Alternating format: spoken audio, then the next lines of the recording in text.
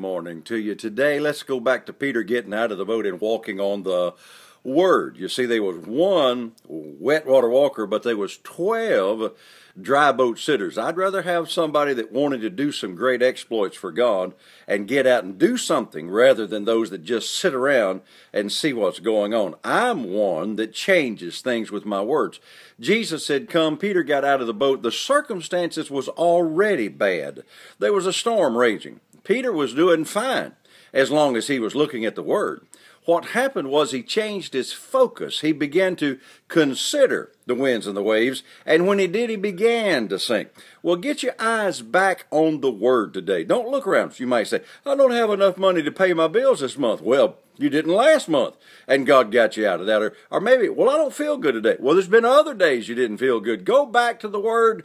My times are getting away from me. That Word will always perform. You're the one that's in charge. Choose what you put your focus on. Until I'm with you tomorrow, remember the Word, it does work.